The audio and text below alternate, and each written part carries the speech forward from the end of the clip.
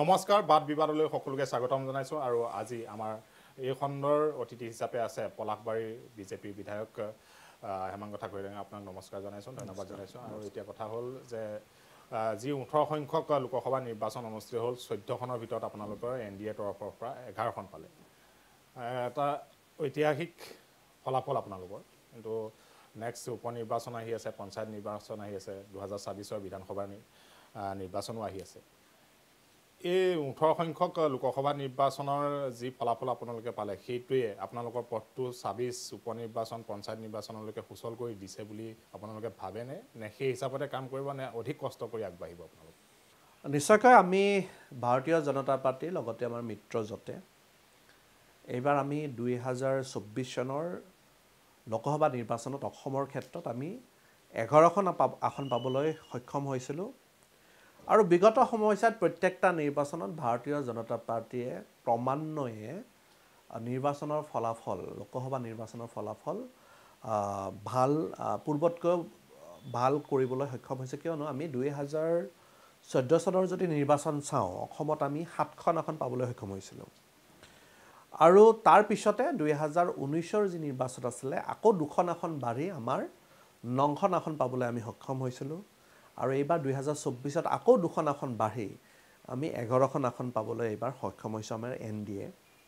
ভাৰতীয় জনতা পাৰ্টীৰ মিত্ৰজোঁটৰ যিজন মুখ্যমন্ত্ৰী এজন শ্ৰেষ্ঠ মুখ্যমন্ত্ৰী জনপ্ৰিয় মুখ্যমন্ত্ৰী যিজন মুখ্যমন্ত্ৰী ডক্টৰ হিমন্ত বিশ্ব শৰ্মা ডাঙৰৰ নেতৃত্বত অসমখনে এটা নিৰ্দিষ্ট গতি লাভ কৰিছে।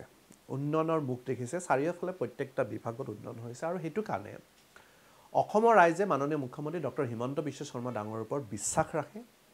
আৰু এইটো কাৰণে মাননীয় মুখ্যমন্ত্ৰী ডক্টৰ হিমন্ত বিশ্ব শৰ্মা ডাঙৰীয়াৰ ওপৰত বিশ্বাস ৰাখি অসমত এইবাৰ আমি অভূতপূৰ্ব এটা সাফল্য যে এঘাৰখন আসন পাবলৈ চৈধ্যখনৰ এঘাৰখন আসন পাবলৈ আমি সক্ষম হৈছোঁ। আৰু নিশ্চয়কৈ যি আপুনি আগন্তুক যি পঞ্চায়ত নিৰ্বাচনৰ কথা ক'লে পঞ্চায়ত নিৰ্বাচনত ইতিমধ্যে যিহেতু আমি লোকসভা নিৰ্বাচনৰ আগতেই আমাৰ প্ৰস্তুতি সম্পূৰ্ণ হৈ আছিলে সকলো অসমৰ সকলো মণ্ডল পৰ্যায়ত সকলো জি পি ৱাইজ আৰু বুথ ৱাইজ শক্তি কেন্দ্ৰ পৃষ্ঠপ্ৰমুখ পৰ্যন্ত আমাৰ সংগঠন ইতিমধ্যে শক্তিশালী হৈ আছে। আৰু পঞ্চায়ত নিৰ্বাচন যিহেতু মাননীয় মুখ্যমন্ত্ৰী মহোদয়ে কোৱাৰ দৰে যে নৱেম্বৰ ডিচেম্বৰ মাহত পঞ্চায়ত নিৰ্বাচন অনুষ্ঠিত হ'ব। চ' পঞ্চায়ত নিৰ্বাচনৰ কাৰণে ইতিমধ্যে আমাৰ ভাৰতীয় জনতা পাৰ্টীৰ প্ৰত্যেকজন কাৰ্যকৰ্তাই ইতিমধ্যে শক্তিশালীভাৱে তেওঁলোকে ৰাইজৰ লগত আছে আৰু শক্তিশালীভাৱে তেওঁলোকে কামবিলাক কৰি আছে সংগঠনৰ কাম কৰি আছে আৰু সেইটো কাৰণে যি পঞ্চায়ত নিৰ্বাচন আহিব তাত এইবাৰ এটা পূৰ্বতকৈ অধিক ভাল ফল লাভ আমি পঞ্চায়তত লাভ কৰিম।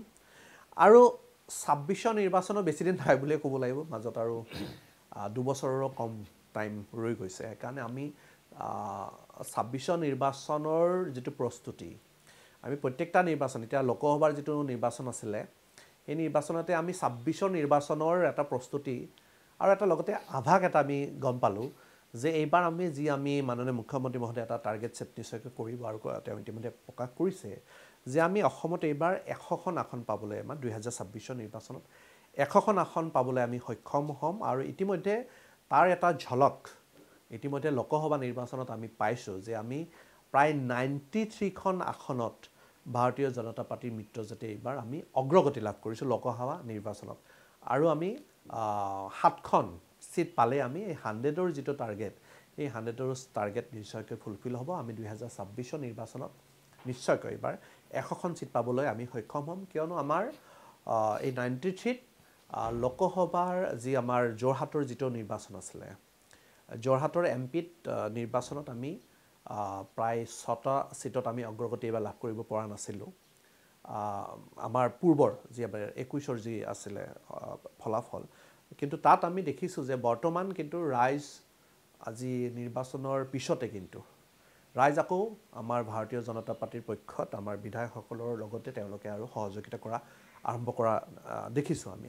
আৰু এইটো কাৰণে ক'ব পাৰোঁ যে সেই ছয় সাতখন ছিট আহিলে ইজিলি আমাৰ যি হাণ্ড্ৰেডৰ যি টাৰ্গেট সেই টাৰ্গেটটো ফিলফিল হৈ আছে। চ' নিশ্চয়কৈ ছাব্বিছৰ নিৰ্বাচনত ভাৰতীয় জনতা পাৰ্টীয়ে আমি অকল পঞ্চায়তে নহয় ছাব্বিছৰ নিৰ্বাচনৰ কাৰণেও ভাৰতীয় জনতা পাৰ্টীয়ে আমি প্ৰস্তুতি সম্পূৰ্ণ কৰিছোঁ আৰু প্ৰস্তুতি হৈ আছে। আৰু নিশ্চয়কৈ যিকোনো মুহূৰ্তত ইলেকশ্যন হ'লেও আমি ভাৰতীয় জনতা পাৰ্টীৰ প্ৰত্যেকটা নিৰ্বাচনৰ কাৰণে সাজু হৈ থাকোঁ। ভাৰতীয় জনতা পাৰ্টীৰ প্ৰত্যেকজন কাৰ্যকৰ্তা সাজু হৈ থাকে মণ্ডল পৰ্যায়ত আমাৰ গাঁও পঞ্চায়ত লেভেলত আৰু বুথ পৰ্যায়ত।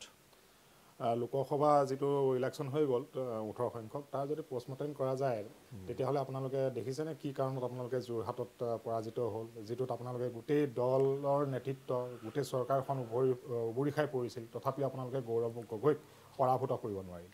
আমাৰ কথাটো এনেকুৱা ধৰণৰ আপোনালোকে এনালাইচিছটো এনেকৈ কৰিব লাগিব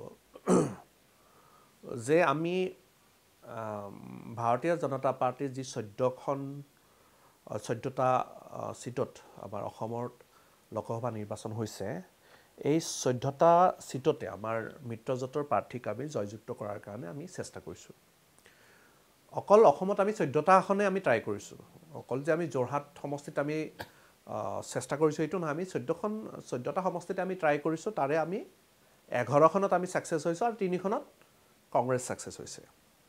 এতিয়া কথাটো এনেকুৱা ধৰণৰ যে আমাৰ যদি বিশ্লেষণটো এনেকৈ কৰে আপোনালোকে। গৌৰৱ গগৈ ডাঙৰীয়া যি যি এইবাৰ জিকিছে এইটো এটা নতুনত্ব নহয়। কিয় নতুনত্ব নহয়? তেওঁক যোৱাবাৰো দেখিছিলে।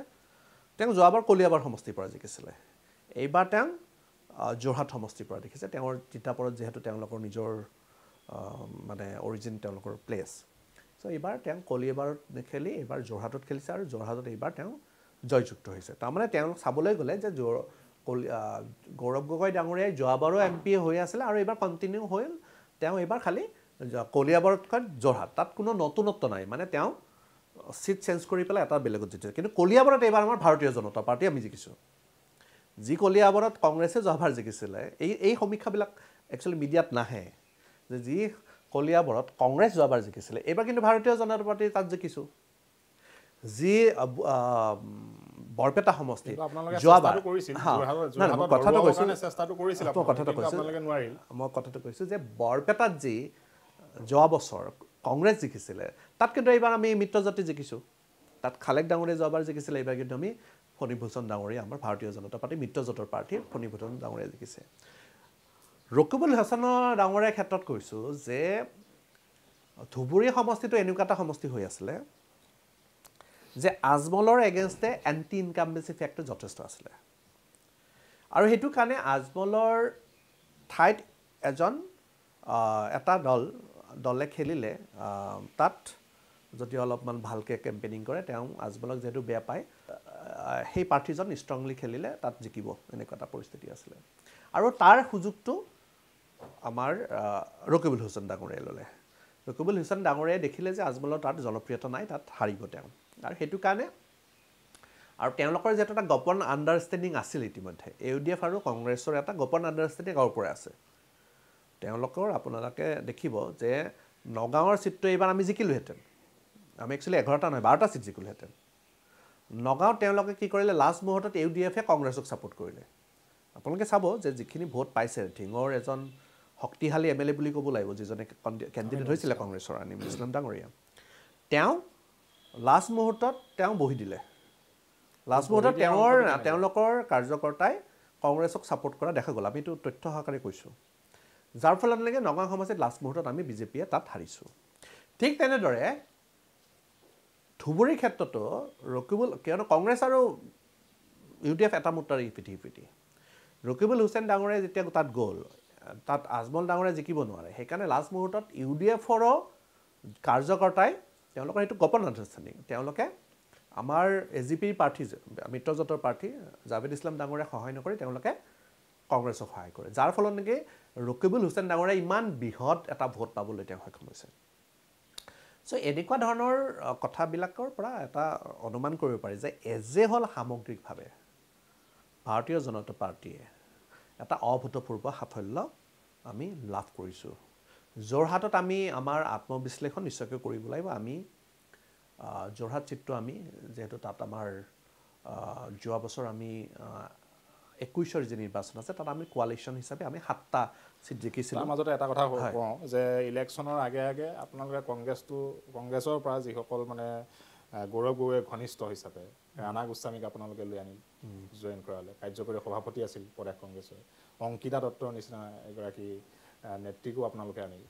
এই গোটেইখিনি কাৰবাৰত আচলতে যোৰহাটৰ যি স্বাভিমানী যোৰহতীয়া বুলি কয় সেইসকল শূন্য হ'ল নেকি? যে আপোনালোকে অলপ বেছিকৈ কৰিলে অলপ মানে এনেকুৱা টাইপৰ হ'ল নেকি যে বিজেপিয়ে বেছি গুণ্ডাগিৰি কৰিল যাৰ ফলত আপোনালোকক অলপ মানে আঁতৰাই ৰাখিল? তাৰমানে কথাটো এনেকুৱা ধৰণৰ ভাৰতীয় জনতা পাৰ্টীৰ নীতি আদৰ্শ যদি চাই ভাৰতীয় জনতা পাৰ্টীত এতিয়া নহয়। বহু দিনৰ পৰা কংগ্ৰেছৰ পৰা বহুকেইজন ব্যক্তিয়ে আমাৰ ভাৰতীয় জনতা পাৰ্টীত যোগদান কৰিছে। আৰু তেওঁলোক আজি ভাৰতীয় জনতা পাৰ্টীৰ হৈ তেওঁলোকে যথেষ্ট কামো কৰি আছে। যথেষ্ট তেওঁলোকে এতিয়া অৱদান দিছে কাম টাইম দিছে ভাৰতীয় জনতা পাৰ্টীত। আৰু সেইটো দলটো শক্তিশালী কৰাৰ ক্ষেত্ৰত তেওঁলোকেও তেওঁলোকৰ ভূমিকা পালন কৰিছে। এতিয়া ভাৰতীয় জনতা পাৰ্টীৰ মাননীয় মুখ্যমন্ত্ৰী মহোদয়ৰ ওপৰত বিশ্বাস ৰাখি কোনোবাই যদি আহে তাত আমি ভাৰতীয় জনতা পাৰ্টী বাধা দিয়াটো বাধা নিদিওঁ আমি। ৰাণা গোস্বামী ডাঙৰীয়া মাননীয় মুখ্যমন্ত্ৰী মহোদয় আৰু অংকিতা দত্ত ডা- ডাঙৰীয়ানীয়ে মাননীয় মুখ্যমন্ত্ৰী মহোদয়ক।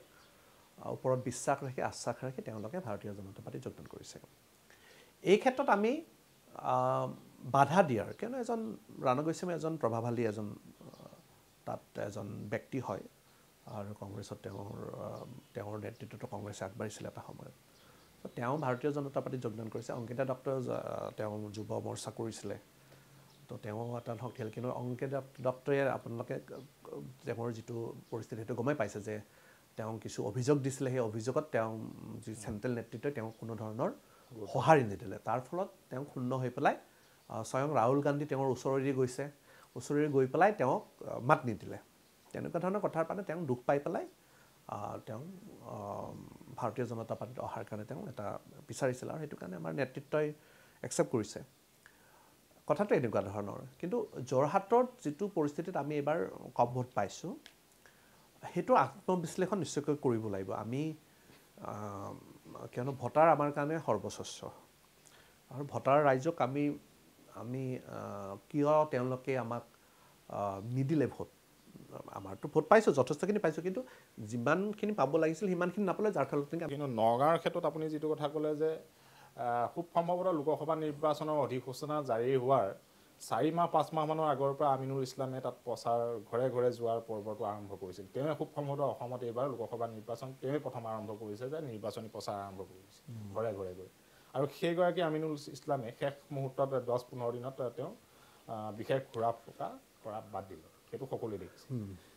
কিন্তু নগাঁৱৰ একাংশ সচেতন ভোটাৰ আৰু বুদ্ধিজীৱী লেখীয়া লোকে এইটো কথা কয় যে আপোনালোকে যিগৰাকীক প্ৰাৰ্থী প্ৰাৰ্থিত্ব দিলে তেওঁৰ পূৰ্বৰ যিখিনি কীৰ্তি কৰ্ম সেইখিনিয়ে শূন্য কৰিল ভোটাৰ ৰাইজক। তাৰ ফলত বহুসংখ্যক ভোটাৰে সেই আপোনালোকৰ প্ৰাৰ্থীগৰাকীক আপোনালোকক দিলেহেঁতেন যদি প্ৰাৰ্থীগৰাকীক ঠিকভাৱে দিলেহেঁতেন। এনেধৰণৰো এটা আলোচনা নগাঁও সমষ্টিৰ ভোটাৰসকলৰ মাজত চৰ্চা হৈছিল। কথাটো এনেকুৱা ধৰণৰ যে আমি ভাৰতীয় জনতা পাৰ্টী আমাৰ যি পাৰ্লিয়ামেণ্টাৰী কমিটি থাকে পাৰ্লিয়ামেণ্টাৰী কমিটিয়ে সকলো দিশ চালি জাৰি চাই আমাৰ প্ৰাৰ্থিত্ব প্ৰদান কৰে। আৰু আমি প্ৰত্যেকটা সমষ্টিত ভাৰতীয় জন অকল অসমৰ ক্ষেত্ৰতো নহয় প্ৰত্যেক গোটেই সৰ্বভাৰততে আমি চালি আমাৰ কেন্দ্ৰীয় নেতৃত্বই পাৰ্লিয়ামেণ্টাৰী কমিটিয়ে চালি জাৰি চাই সকলো দিশ চালি জাৰি চাই আমাৰ প্ৰাৰ্থিত্ব প্ৰদান কৰে। অসমৰ ক্ষেত্ৰতো যিকেইজনে আমাৰ প্ৰাৰ্থিত্ব প্ৰদান কৰিছে কোনোবাই হয়তো অলপ অলপ ভোটত হাৰিব পাৰিছে কিন্তু প্ৰাৰ্থিত্ব প্ৰদান কৰিছে সকলো চা- দিশ চালি জাৰি চাই। আজি সুৰেশ বৰা ডাঙৰে যিটো কথা কৈছে এইটো এইটো আপুনি কাৰ পৰা কি ভাষ্য পাইছে মই জ্ঞাত নহয় কিন্তু কথাটো এনেকুৱা ধৰণৰ যে তেওঁৰ নেতৃত্বত তেওঁ প্ৰাৰ্থী হিচাপে হোৱা পৰিপ্ৰেক্ষিতত আজি আমি কিছু সংখ্যক মাইনৰিটি ভোটো আমি পাবলৈ সক্ষম হৈছোঁ তাত। আজি যদি এনালাইচিছ কৰা যায় আমি প্ৰায় জিতাৰ পথত যাৰ ফলত নেকি আপুনি বুজি লওক যে আজি তেওঁ জিকিবৰ কাৰণে জিকিবৰ পথত যোৱাৰ কাৰণেতো আজি আনিমুল ইছলাম ডাঙৰীয়া লাষ্ট মুহূৰ্তত তেওঁ আজি বহি গ'ল তেওঁলোকে কংগ্ৰেছক সহায় কৰিলে। চ' এইটো এজন দুজনৰ ভাষ্যৰ ওপৰত বেছ নকৰে। আমি সামগ্ৰিকভাৱে গোটেই নগ নগাংবাসী ৰাইজে যে আমাক আজি ইমানখিনি আপোনালোকে জানে যে আমাৰ তাত যথেষ্ট কণ্টেষ্ট হৈছে। তথাপিও আমি যে ইমানখিনি তাত ভোট পাইছোঁ আমাৰ ইমানখিনি ভোট পোৱাৰ পিছত এই যিটো আপোনাৰ যিটো আপুনি প্ৰশ্ন কৰিলে সেই প্ৰশ্নটো একচুৱেলি প্ৰযোজ্যই নহয় যে তেওঁ তেওঁৰ যে তেওঁৰ এগেইনষ্টে কিবা এলিগেশ্যন আছিল বা কিবা আছিলে কিয়নো ইমানখিনি ভোট খোৱাৰ পিছত আজি আমি ৰাইজে ভাল পায় বেয়া পায় এইটো আমি কাৰ পৰা নিৰূপণ কৰোঁ? যে অমুক সমষ্টিত অমুকজন কেণ্ডিডেটে ইমানখিনি ভোট পাইছে। যদি বেছি ভোট পাইছে তাত যদি কয় যে ৰাইজে তাত বেয়া তেওঁক বেয়া পায় সেইটো তাত প্ৰযোজ্য নহয়। যদি কম ভোট পাইছে যে তাত কয় যে ৰাইজে তেওঁক ভাল ভাল পাইছিল সেইটো তাত প্ৰযোজ্য নহয়। ঠিক তেনেদৰে সুৰেশ বৰা ডাঙৰীয়া ইমান এটা জটিল প্ৰত্যাহ্বান য'ত নেকি আপুনিও গম পাইছে তাত আফটাৰ ডিলিমিটেশ্যন তাত যথেষ্টখিনি চেঞ্জেছ হৈছিলে। ডিলিমিটেশ্যনতে যথেষ্ট চেঞ্জেছ হৈছে। তৎসত্বেও যে সুৰেশ বৰা ডাঙৰীয়াই আজি একচুৱেলি চাবলৈ গ'লে যিটো ডিলিমিটেশ্যনৰ যিটো তাত পৰিস্থিতি হৈছিলে। একচুৱেলি আমাৰ সুৰেশ বৰা ডাঙৰীয়া কণ্টেষ্টতে আহিব নালাগিছিলে। বহুতেতো কণ্টেষ্টতে আহিব নাহিব নাহিব বুলি কৈছিলে। যিটো কণ্টেষ্ট আহি যাত জিতাৰ পৰ্যায়লৈ আহিছিলে যাৰ ফলত নেকি ইউ ডি এফে কংগ্ৰেছক ইণ্টাৰনেলি ছাপোৰ্ট কৰিছে এই কথাটোৱে প্ৰমাণ কৰে যে সুৰেশ বৰা ডাঙৰীয়াকো ৰাইজে তাত বিচাৰিছিলে। এইটো নিৰ্বাচনত কিন্তু এটা ৰাজনৈতিক দলৰ ভৱিষ্যতক লৈ পেলাই এটা প্ৰশ্নবোধক আহি গ'ল। যে তিনিবাৰৰ সাংসদ বদৰুদ্দিন আজমল যিটো এটা দলৰ মুৰব্বী সেইগৰাকী পৰাজিত হ'ল। আৰু অনাগত সময়ত তেওঁলোকৰ পাৰ্টিটো এতিয়া সচেতন ৰাজনৈতিক বিশ্লেষকসকলে ক'ব বিচাৰে যে তেওঁলোকৰ আৰু ৰাজনৈতিক কেৰিয়াৰ খুব সম্ভৱ। শেষ আৰু। আপুনি কি হিচাপে ব্যাখ্যা কৰিব? কথাটো এনেকুৱা ধৰণৰ যে বদৰুদ্দিন আজমল ডাঙৰীয়াই ৰাজনীতি তেওঁলোকে এটা বিশেষ কমিউনিটিক লৈ পেলাই ৰাজনীতি কৰিছিলে। আমি যিটো ভাৰতীয় জনতা পাৰ্টিৰ যিটো চৰ শ্লোগান চবকা সাথ চবকা বিকাশ। আমি সকলো জাতি জনগোষ্ঠী মাননীয় দেশৰ প্ৰধানমন্ত্ৰী নৰেন্দ্ৰ মোদী ডাঙৰীয়াই। আজি চিম্পুল এক্সাম্পল যে আমি ভোটৰ ভোট নোপোৱা ঠাইতো আমি কাম কৰিছোঁ। আজি চিম্পুল এক্সাম্পল এটা সময় এটা এৰিয়াত ফাইভ হাণ্ড্ৰেড প্লাছ তাত ঘৰ দিয়া হৈছিলে আৰু বেনিফিচিয়াৰী আমাৰ চেণ্ট্ৰেল গভমেণ্ট নৰেন্দ্ৰ মোদী ডাঙৰীয়াৰ বেনিফিচিয়াৰী তাত হাজাৰ হাজাৰ আছে। কিন্তু তাত আমি জিৰ' ভোট পাইছোঁ। এটা বুথৰ কথা কৈছোঁ। এটা বুথত মোৰ নহয় এখন এখন ৰাজ্যত উত্তৰ প্ৰদেশৰ এটা এৰিয়াত আমি আমাৰ নৰেন্দ্ৰ মোদী ডাঙৰীয়াই যথেষ্টখিনি স্কিম এটা জিৰ' ভোট পাইছে। এনেকুৱা ঘটনা এইবাৰ চৌব্বিছত নহয় তাৰ আগৰবাৰো হৈছিলে। তৎসত্ত্বেও সেই এৰিয়াবিলাকত নৰেন্দ্ৰ মোদী ডাঙৰীয়াই কাম কৰিছে। আমাৰ অসমৰ ক্ষেত্ৰত মাননীয় মুখ্যমন্ত্ৰী মহোদয় ভোট পোৱা নোপোৱা সেইবোৰ চোৱা নাই চবতে কাম কৰিছে। তাৰমানে সকলো জাতি জনগোষ্ঠী আমি আমাৰ দেশৰ প্ৰধানমন্ত্ৰী সকলো জাতি জনগোষ্ঠীৰ প্ৰধানমন্ত্ৰী। অসমৰ মাননীয় মুখ্যমন্ত্ৰী ডক্টৰ হিমন্ত বিশ্ব শৰ্মা ডাঙৰীয়াই সকলো জাতি জনগোষ্ঠীৰ তেওঁ মুখ্যমন্ত্ৰী। সেইকাৰণে সেইকাৰণে সকলো জাতি জনগোষ্ঠী সকলো চবকা চাত চবকা বিকাশ চবকা চাত চবকা বিকাশ হ'লেহে অসমখনৰ বিকাশ হ'ব এজে হ'ল।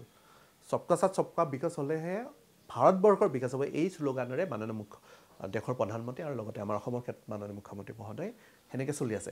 কিন্তু বদৰুদ্দিন আজমল ডাঙৰীয়াহঁতে ইভেন সেইটো লাইনত এতিয়া কংগ্ৰেছো গৈছে পাৰ্টিকুলাৰ কিছু কমিউনিটিৰ কাৰণেহে তেওঁলোকে কাম কৰিছে। কোনোবা ক্ষেত্ৰত যদি মাতিব লগা হয় তেওঁলোকে সেই কমিউনিটিৰ কাৰণে মাতে। তেওঁলোকে যদি চবকা চাত চবকা বিকাশ তেওঁলোকৰো যদি শ্লোগান হ'লে হয়তো আজি এই পৰ- বিপৰ্যয়টো বদৰুদ্দিন আজমল নহ'লহেঁতেন। আজি বদৰুদ্দিন আজমল ধূলিচাত কিয় হ'ল? তেওঁলোকে এটা নিৰ্দিষ্ট এটা কমিউনিটিক লৈ ৰাজনীতি কৰিছিলে। কিন্তু তেওঁলোকে যদি সকলোক লৈ পেলাই যদি মিলি চলিলেহেঁতেন আজি এতিয়া দুৰ্দশা তেওঁলোকৰ নহ'লহেঁতেন।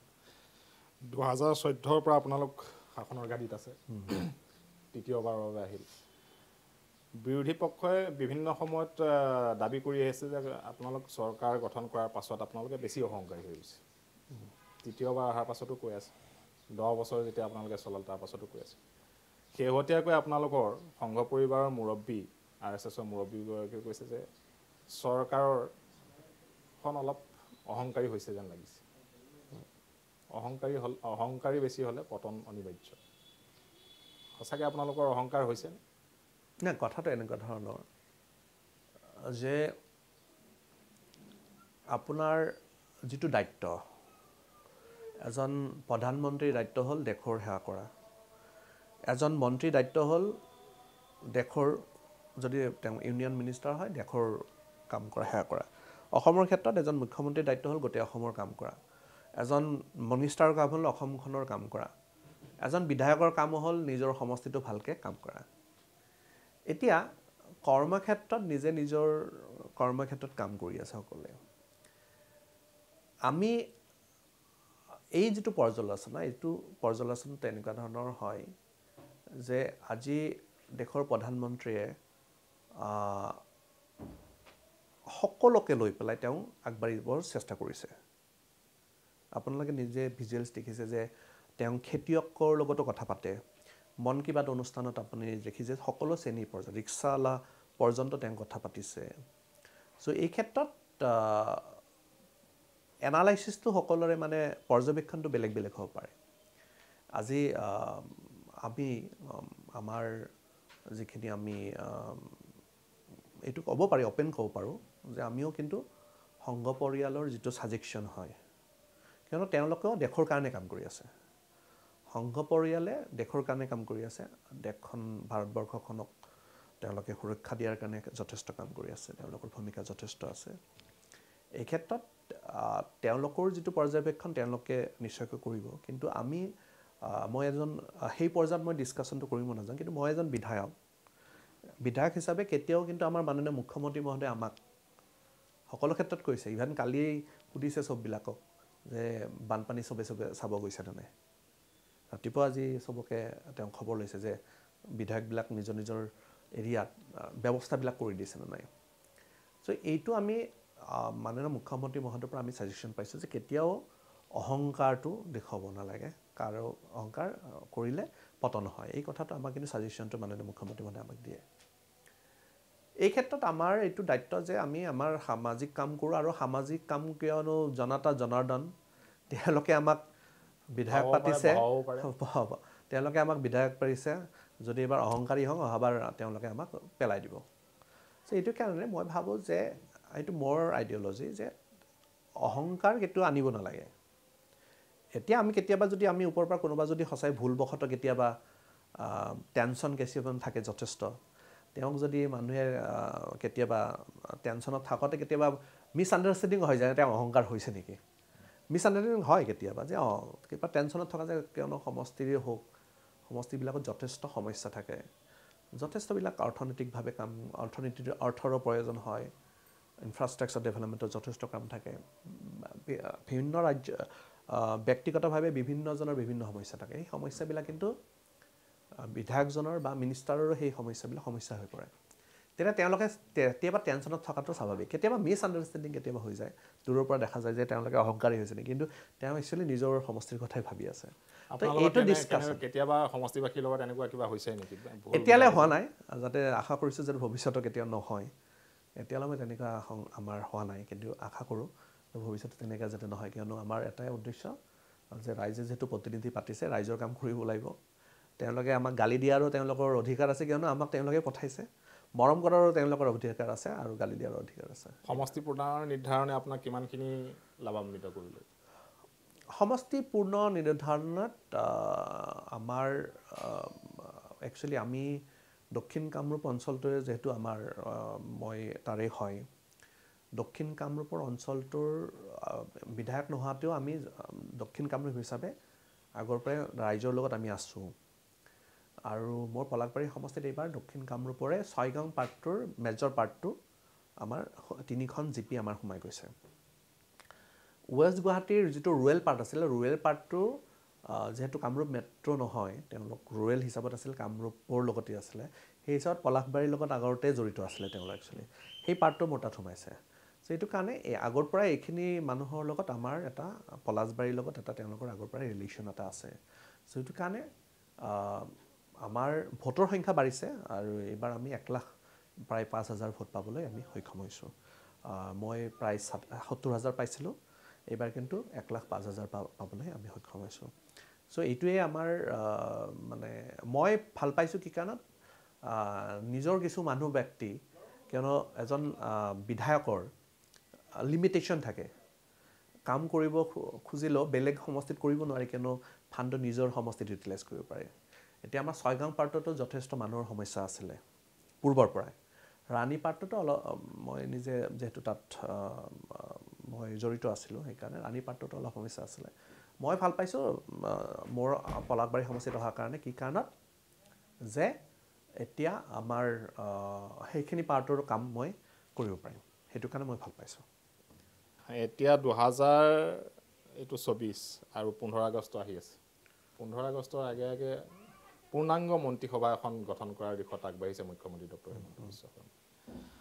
আৰু নামনি অসমৰ পৰা ফণীভূষণ চৌধুৰী আগতে মিনিষ্টাৰ আছিল কোচ ৰাজবংশী আৰু ৰাজবংশীয় সম্প্ৰদায়ৰ প্ৰতিনিধি হিচাপে মন্ত্ৰীসভাত নাই।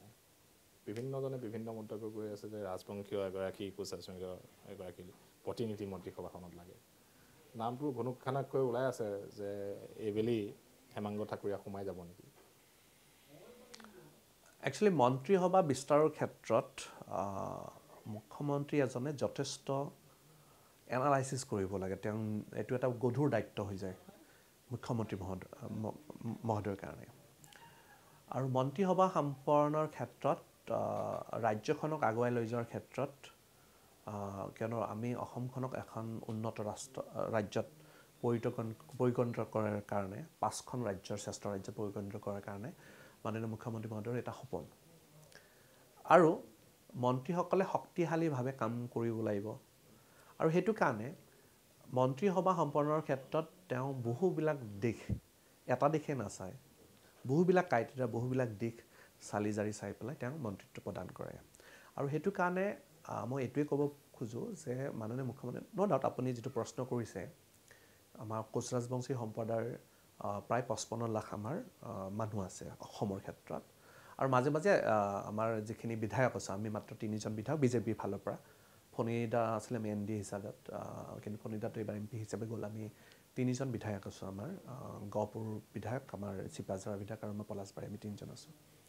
এই ক্ষেত্ৰত মাজে মাজে কোচ ৰাজবংশীসকলৰ যেতিয়া জনপ্ৰতিনিধি আমি হওঁ মানে সম্প্ৰদায়ৰ ব্যক্তি হওঁ আমাৰ সকলো ৰাইজৰ আমি কাম কৰাটো দায়িত্ব। আমাৰ আমাক সকলো ৰাইজে আমাক ভোট দি পেলাই আমাক মন্ত্ৰী কৰিছে। তাৰ লগে লগে জনগোষ্ঠীয় যিখিনি সমস্যা আছে আমাৰ কোচ ৰাজবংশীসকলৰ তেওঁলোকৰ সমস্যাৰ কাৰণে সমস্যাবিলাকৰ কাৰণে আমাকো যিহেতু কোচ ৰাজবংশী আমি বিধায়ক হয় আমি বিধানসভাত আছোঁ পবিত্ৰ বিধানসভাত আছোঁ কোচ ৰাজবংশীৰ বিভিন্ন সমস্যাৰ ক্ষেত্ৰত কিয়নো মাননীয় মুখ্যমন্ত্ৰী মহোদয়ক তেওঁলোকে লগ কৰে। তাৰ তেওঁক লগ কৰাৰ ক্ষেত্ৰতো আমাক তেওঁলোকে প্ৰথম এপ্ৰ'চ কৰে। সেইকাৰণে বিভিন্ন সমস্যা নথকা নহয় আমাৰ আমাৰ জাতিটোৰ কোচ ৰাজবংশীৰ কিয়নো আমি অসমৰ চাৰিওফালে আপাৰ আছামতো আছে গোটেই সিঁচৰিত হৈ আছে। কিয়নো পাৰ্টিকুলাৰ এটা জেগাত নাই। চবতে আমাৰ প্ৰত্যেকটা বিধানসভাত আমাৰ এইটো চাইডে অলপ বেছি আছে। পলাশবাৰীত আহ, গোৱালপাৰ ইভেন দুধনৈত আছে বঙাইগাঁও আছে নলবাৰীত আছে ইফালে আপোনাৰ চিপাঝাৰ আছে এনেকৈ গহপুৰত আছে। এনেকৈ এটা বিভিন্ন ঠাইত বেছি সংখ্যক আছে কিন্তু প্ৰায় অসমৰ কিন্তু প্ৰত্যেকটা সমষ্টিতে অলপ হ'লেও আছে। তো পঁচপন্ন লাখৰ যি আমাৰ কোচ ৰাজবংশী সম্প্ৰদায় তেওঁলোকৰ যথেষ্ট সমস্যা আছে। তেওঁলোকে যদি আপুনি কোৱাৰ দৰে তেওঁলোকে যদি অলপ ডিমাণ্ড কৰিছে বা বিচাৰিছে এইটো মানে তেওঁলোকে ভাবে যে নিজৰ জনগোষ্ঠীয় এজন ব্যক্তি মন্ত্ৰিত্ব পালে তেওঁলোকৰ কামখিনিও হ'ব। তেওঁলোকৰ সমস্যাবিলাক সমাধান কৰিব তেওঁলোকৰ কাৰণে মাত মাতিব পাৰে তেওঁলোকৰ এটা বিশ্বাস। চ' সেইটো কাৰণে হয়তো তেওঁলোকে আপুনি কোৱাৰ দৰে তেওঁলোকে অলপ বিচাৰিছে। কিন্তু কথাবিলাক এনেকুৱা ধৰণৰ যে মন্ত্ৰিত্বৰ কাৰণে মাননীয় মুখ্যমন্ত্ৰী মহোদয় বিভিন্ন দিশ তেওঁ চালি জাৰি চাব লগাত পৰিব আৰু সেইটো কাৰণে সেই গোটেই দিশ চালি জাৰি চাই তেওঁ এটা নিৰ্দিষ্ট তেওঁলোকে তেওঁ এটা সিদ্ধান্ত গ্ৰহণ কৰিব। আৰু তেওঁৰ যিটো সিদ্ধান্ত হয় আমি সদায় সেইটো সঠিক সিদ্ধান্ত বুলি আমি ধৰি লওঁ। ছাত্ৰ অৱস্থাৰ পৰা আপুনি বহুকেইগৰাকী মুখ্যমন্ত্ৰীক দেখি আহিছে। ওচৰৰ পৰা নহ'লে দূৰৰ পৰা হ'লেওতো দেখিছে। এতিয়ালৈকে আপোনালোকৰ আপোনাৰ এই পৰিক্ৰমাটোত যে কোনজন মুখ্যমন্ত্ৰীৰ কাৰ্যই কোনকেইটা গুণে আপোনাক মুগ্ধ কৰিছে? আপ- আপুনি এতিয়া মুখ্যমন্ত্ৰীজনৰ কথাটো শেষত ক'ব কিন্তু বাকী কেইজনৰ কথাখিনি কৈ লৈছোঁ না মই এতিয়া কথাটো এনেকুৱা ধৰণৰ। মই এতিয়াৰ মুখ্যমন্ত্ৰীজনকহে মই বেছি জানিম।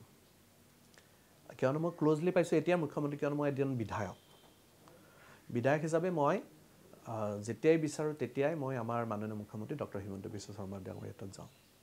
আৰু সেইটো কাৰণে তেওঁক ক্ল'জলি মই পাইছোঁ কিয়নো মই বিধায়ক হিচাপে তেওঁক ক্ল'জলি পাইছোঁ কিয়নো তেওঁ মুখ্যমন্ত্ৰী হোৱাত মুখ্যমন্ত্ৰী হৈ থাকোঁতেহে মই বিধায়ক মানে বিধায়কৰ মই বিধায়ক হৈ থাকোঁতে তেওঁ মুখ্যমন্ত্ৰী এতিয়া। মই যিহেতু প্ৰথম টাৰ্মৰ বিধায়ক। এই ক্ষেত্ৰত মাননীয় মুখ্যমন্ত্ৰী মহোদয় এটাই গুণ দেখিলোঁ যে তেওঁৰ এলাহ একেবাৰে নাই। ৰাতি মই সৰু এটা এক্সাম্পল দিওঁ।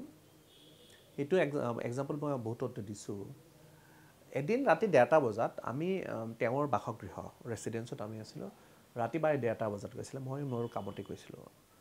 আমাৰ লগত ৰাতি প্ৰায় ডেৰটা বজালৈ তেওঁ আছে কথা পাতি আছে। তাৰপিছত আমি তেওঁক বাদ দি আহিলোঁ আহ, গুচি আহিলোঁ। আহ, আমি মই শুৱাতে মিলতে আৰু আহি পেলাই প্ৰায় আঢ়ৈটা তিনিটা বাজিলে। ৰাতিপুৱা উঠি পেলাই টিভিটো অন কৰিলোঁ। মুখ্যমন্ত্ৰীয়ে মহোদয়ে ৰাতি আৰু আমাক চবকে বিদায় দিয়াৰ পিছত জি এম চিত গৈছে। ৰাতি তিনিটা চাৰিটা বজাত জি এম চিত গৈছে। যোৱাকালিও দেখিছোঁ মই এইমাত্ৰ ফেচবুকত আপোনালোকে দেখিব তেওঁ ৰাতি বাৰটা বজাত ঘূৰি আছে। এঘাৰটা পোন্ধৰত গুৱাহাটীত এঘাৰটা বন্ধত গুৱাহাটীত ঘূৰি আছে। আজি ৰাতিপুৱাই তেওঁ আজি গড়ল গৈছে এতিয়া ভিজিট কৰা শেষেই হ'ল।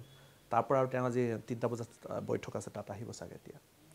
চ' কথাটো এনেকুৱা ধৰণৰ যে তেওঁক দেখিলে আমি অলপ যদি সমষ্টি ঘূৰি পেলাই কেতিয়াবা ভাগৰ লগা যেন লাগে তেওঁ মনত কৰিলে সকলো বিধায়কে ভাগৰটো পাহৰি যায়। তেওঁ অকল অসমেই নহয় এতিয়া তেওঁ এনেকুৱা এটা তেওঁ এটা পৰ্যায় গুচি গ'ল ভাৰতবৰ্ষত যে বেলেগ বেলেগ ৰাজ্যত এতিয়া ভাল লাগে মই মাজত তেলেংগানাত আমি নিৰ্বাচনৰ কাৰণে গৈছিলোঁ। নিৰ্বাচনত এটা মোক সমষ্টিত দায়িত্ব দিছিলে তাত আমাৰ চেণ্ট্ৰেল আমাৰ কমিটিয়ে। সেই তাত যেতিয়া মই ঘূৰিছিলোঁ গাঁও ভূঁত গাঁওবিলাকত গ'লেও যেতিয়া অসমৰ বিধায়ক বুলি ক'লে সেই হিমন্ত শৰ্মাজী বুলি কৈ দিয়ে মনটো ভাল লাগে। এইটো এটা পৰিস্থিতি এইটো মানে যে অসমৰ মুখ্যমন্ত্ৰী এজনক যে ৰেকগনাইজ কৰিছে গাঁৱৰ ভিতৰৰ তেলেংগানাৰ গাঁৱৰ ভিতৰৰ ৰাইজে। হা ও আয়াথা ও তেলেংগানা মানে আয়াথা। আমি কৰিমনগৰ যিটো এম পি কনষ্টিটুৱেঞ্চি তাৰ আণ্ডাৰত মই এটা ভেমুলাৱাডা বুলি কনষ্টিটুৱেঞ্চি আছে তাত মই দায়িত্ব আছিলে। যে কৰিমনগৰত গৈছিলে সেই বস্তুটো মানে তাৰে ৰাইজে কৈছে যে অ ছাৰজি আয়া থা কৰিমনগৰ মে এক ৰেলী মে আয়া থা মানে এই যিটো তেওঁলোকৰ আত্মীয়তা এজন মুখ্যমন্ত্ৰীক লৈ পেলাই আমাৰ অসমৰ মুখ্যমন্ত্ৰী অসম বুলিতো এটা সময়ত মানুহে চিনিয়ে নাপাইছিলে। ৰাজনীতিৰ ঊৰ্ধত যদি হেমাংগ ঠাকুৰীয়াক কোৱা যায় যে হেমাংগ ঠাকুৰীয়া আৰু কি কি কাম কৰি বেছি ভাল পায় ৰাজনীতিক বাদ দি? তো ৰাজনীতিৰ ঊৰ্ধত স্পৰ্টছটো মোৰ অলপ মানে বেছি ফেভাৰিট মানে যাওঁৱে আৰু খেলোঁ আৰু তাত মোৰ দেউতাৰ নামতো ক্ৰিকেট বহুখিনি কম্পিটিশ্যন তাত আয়োজন কৰা হয় তাত মই নিজে ইনভলভ হৈ যাওঁ। ফুটবল প্ৰতিযোগিতা মোৰ দেউতাৰ নামত তাত দুখন তিনিখন ফুটবল প্ৰতিযোগিতা হয় আমাৰ পলাশবাৰী সমষ্টিত। চ' তেনেকৈ স্পৰ্টছৰ লগত ৰাজনীতিৰ ঊৰ্ধত স্পৰ্টছ মোৰ ভাল পাওঁ। আগৰ মুখ্যমন্ত্ৰীৰ কাৰ্যকালত বিধায়কসকল আৰু মন্ত্ৰীসকলে অলপ আৰামত আছিল। এতিয়াৰ মুখ্যমন্ত্ৰী নিজেও নুশুৱে নিজেও আৰামত নাথাকে বাকী মন্ত্ৰী বিধায়কসকল সকলোকে দৌৰাই থাকে ৰাইজৰ কামত বেলেগ কামত নহয়। এতিয়া আপুনি পৰিয়ালক সময় দিবৰ কাৰণে সুবিধা অকণ পায় নে নাপায়? বহু বিধায়কক পাইছোঁ যে মুখ্যমন্ত্ৰীয়ে দৌৰি থাকে আমি আৰু ক'ত বহি থাকিব পাৰিম এনেধৰণৰ এটা হয়। পৰিয়ালক সময় দিব পৰা যায় নে নাযায়? একচুৱেলি কৰ্মব্যস্ততাৰ মাজত পৰিয়ালক টাইম দিয়াটো এটা নিজৰ নিজৰ মানে সেইটো এটা হেৰি মেকানিজম মেকানিজিম চ' সেইটো কাৰণে মাননীয় মুখ্যমন্ত্ৰী মতে ইমান ব্যস্ততাৰ মাজত পৰিয়ালক কিন্তু টাইম দিয়ে। আপুনি দেখিব যে তেওঁ কিন্তু পৰিয়ালক টাইম দিয়ে। ঠিক তেনেদৰে আমাৰ বিধায়কসকলেও ব্যস্ততাৰ মাজত নিজৰ পৰিয়ালক সকলোৱে টাইম দিয়ে। আৰু যিহেতু আপোনাৰ কষ্ট কৰি অহাৰ পিছত এটা পৰিয়ালৰ লগত আৰু এটা যেতিয়া পৰিয়ালৰ লগত অলপ টাইম দিয়া যায় তেতিয়া এটা মানে কি হয় মানুহ এজনে স্মুথলি চলি থাকিব পাৰে। সেইকাৰণে বেলেঞ্চটো বহুত দৰকাৰ। আপুনি ৰাইজৰ লগত লগত পৰিয়াল আৰু পৰিয়াল আমাৰ পৰিয়ালটো ৰাইজৰ লগতে মিলি থাকে। আৰু সেইটো কাৰণে আমাৰ সহজ হৈছে কিয়নো আমাৰ আম, আমাৰ পৰিয়ালৰ প্ৰত্যেকজন সদস্যই আমাৰ মই কেতিয়াবা কিছুমান অনুষ্ঠানত যাব নোৱাৰিলেও মোৰ পৰিয়ালৰ সদস্য সেইবোৰত যায়। সেইকাৰণে পৰিয়ালটো মোৰ ৰাইজৰ লগতে আছে সেইকাৰণে মোৰ বেছি এটা অসুবিধা নহয়। আপুনি যদি আহ, ৰাজনীতি পথাৰলৈকে নাহিলেহেঁতেন তেতিয়াহ'লে আপুনি কোনটো দিশত আপুনি অগ্ৰসৰ হ'ল? না মইতো হেৰি মই এডুকেশ্যন লাইনতে আছিলোঁ। মই এম এল এ হোৱাৰ বিধায়ক হোৱাৰ আগমুহূৰ্তত মই I S B M college of মেনেজমেণ্টৰ মই নিজে ডিৰেক্টৰ আছিলোঁ। চ' সেইটো দিশত মই এতিয়া নহয় আগৰ পৰাই আছোঁ। কিন্তু ৰাজনীতিত মই বহুত বছৰৰ আগৰ পৰাই আছোঁ। মই দুহেজাৰ এঘাৰ চনতে বিজেপিৰ প্ৰাৰ্থী আছিলোঁ পলাশবাৰী আজিৰ পৰা তেৰ বছৰ আগত। তেতিয়া দুহেজাৰ এঘাৰত তেতিয়া আমাৰ অসমৰ পৰা পাঁচজন প্ৰাৰ্থী জিকিছিলে। প্ৰশান্ত দা জিকিছিলে মৰাণৰ পৰা দিলীপ মৰাণ দা জিকিছিলে পাটাচাৰ কুচিৰ আমাৰ হেৰি পাটাচাৰ কুচি জিকিছিলে আৰু আমাৰ সৰভোগত আমাৰ হেৰি ৰঞ্জিত দা জিকিছিলে আৰু যাদৱ দা জিকিছিলে এই পাঁচজন আছিলে দুহেজাৰ এঘাৰত। চ' সেই সময়ৰ পৰা ৰাজধানী পথাৰখনত আছোঁ। কিন্তু তাৰ লগে লগে মই আমাৰ যি নিজৰ যিটো প্ৰফেশ্যন মই কেৰিয়াৰ ষ্টাৰ্ট কৰিছিলোঁ ডিমৰাই কলেজত মই এজ এ এছিষ্টেণ্ট প্ৰফেচাৰ তাৰপিছত বেলেগ বেলেগ আৰু হেৰিতো মই যথেষ্ট আছিলোঁ কাম কৰিছিলোঁ।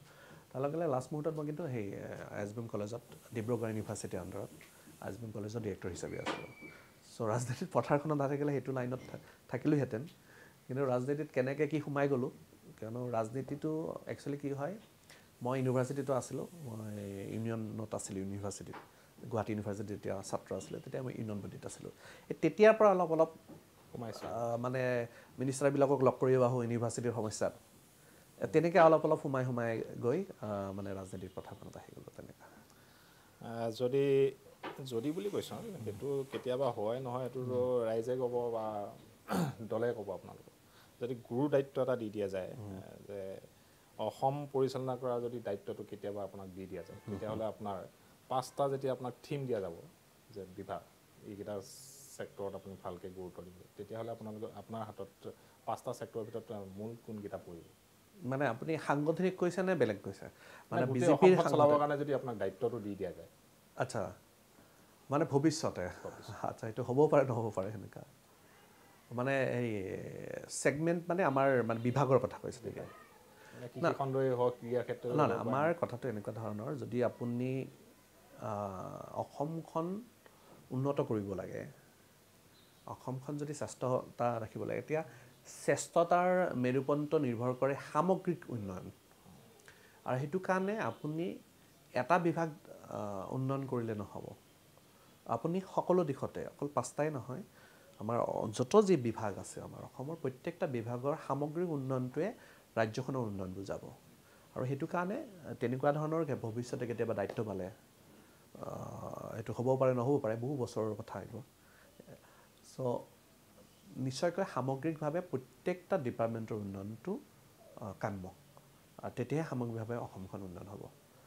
যিটো নেকি আমাৰ মাননীয় মুখ্যমন্ত্ৰী মহোদয় বৰ্তমান কৰি আছে। মাননীয় মুখ্যমন্ত্ৰী মহোদয় অকল এটা বিভাগে নহয় প্ৰত্যেকটা বিভাগ। তেওঁ অকল এজন এটা ডিপাৰ্টমেণ্টৰ মানুহকে নহয় তেওঁ তাত প্ৰত্যেকটা ডিপাৰ্টমেণ্টৰ মানুহে গৈ পেলাই কমিশ্যনাৰসকলে গৈ পেলাই বা প্ৰত্যেকজন ডিপাৰ্টমেণ্টৰ মানুহে উইথ মিনিষ্টাৰ্ছ গৈ পেলাই তেওঁৰ লগত মানে মুখ্যমন্ত্ৰী মণ্ডলৰ কথা পাতে।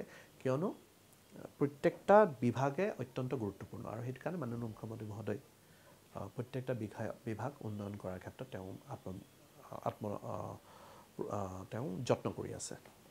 মানে এনেকুৱা এটা মানে সচিবালয়ত বা অসমৰ কোনটো ডি চি অফিচত কোনটো ফাইল ক'ত পৰি আছে কোনটো বিভাগৰ ফাইল ক'ত পৰি আছে তেওঁৰ নখদৰ্পণত যে অমুকটো ফাইল অমুকত আছে আৰু ইমান দিনৰ ভিতৰত মোৰ হাতত পৰিব বা কামখিনি এনেকৈ হ'ব এটা এই বস্তুটো আপুনি যদি এটা কথা এইটো আচৰিত আপুনি ভাবে যে মুখ্যমন্ত্ৰীজনে ইমান ইমান নাচায় নেকি?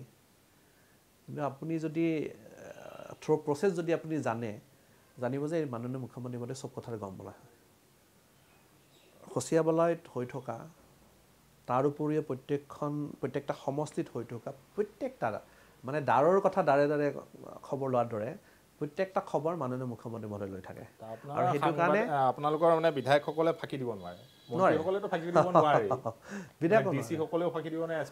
তেওঁ ইভেন আমাৰ এইটোৱে কথা অকল আমাৰ ৰুলিং পাৰ্টিৰ বিধায়কে নহয়।